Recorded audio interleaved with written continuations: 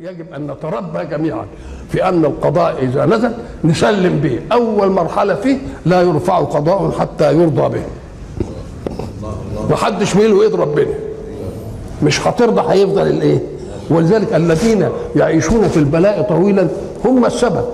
ليه؟ لأنهم ما رضيوش بال لو رضوا لرفع الله الإيه؟ زي ما تدخل وابنك تلاقيه عمل حاجة بيلعب كوتشينة ولا حاجة وضربته قلم. إن استسلم ورضي تعمل إيه فيه؟ تطبطب عليه وتاخده مش عارف إيه. طب وانت النح الثاني الله. يبقى اذا الحق سبحانه وتعالى بيعاملنا كده.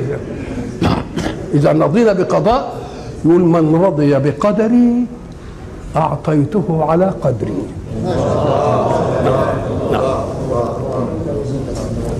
فاصبر كما صبر أولو العزم. وبرضه سيدنا يوسف صبر ولا ما صبرش؟ شوف في الجب عملوا فيه إيه. شوف في السجن لما مش عارف عملوا فيه إيه. إنما الآخرة جت إيه. مكنا ليوسف في الإيه. يتبوأ منها حيث وجابوا وهو على العرش. والله إذا المسألة ترضى بالقضاء ربنا يعمل لك الحكمه يبين لك الحكمة في هذا الإيه. في هذا القضاء. ولذلك إحنا قلنا زمان إن الإنسان إذا أصابه شيء يكرهه نفسه ما تنبسطش له يعرض يعرض الأمر على نفسه. أنت لك سبب في دي ولا مالكش زي ما قلنا سقط لأنه ما ذاكرش. يبقى بقى العلاج يعمل إيه؟ يبقى يذاكر. يبقى إحنا سقطناك سنة علشان تذاكر كل سنة. أدي واحدة. طب وإن كان من غيره؟ هو مذاكر وحافظ العلوم وكل حاجة وراح الامتحان جاله دوار. ما عرفش يجاوب. نقول له دي مش شغلتك. بقى دي شغلة اللي عملها فيك.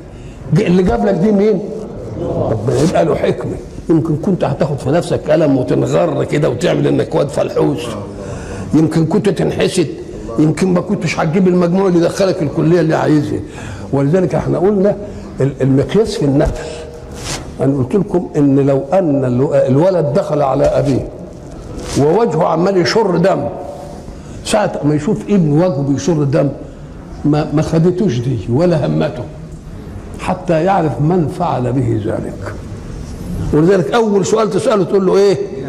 مين اللي عمل فيك كده أول سؤال. يبقى الدم ما خدكش. حتى تعرف. ويقول لك ده عمي.